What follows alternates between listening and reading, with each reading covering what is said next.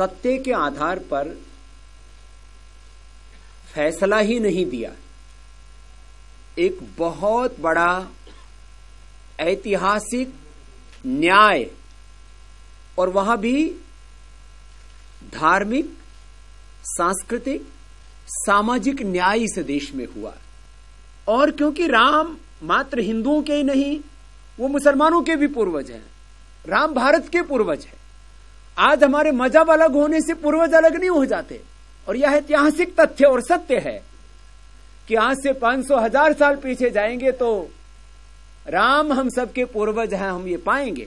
इसलिए अपने पूर्वज को सम्मान देने के नाते मुस्लिम भाइयों को भी मंदिर निर्माण में सहयोग देना चाहिए।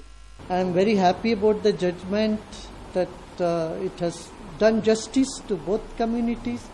And it is welcome by people from all cross sections of society. You know, there will always be a small percentage of people who will uh, not be very happy with it, but generally, since we have been in the mediation, we have to, spoken to people on both sides, and uh, I feel that people are very uh, satisfied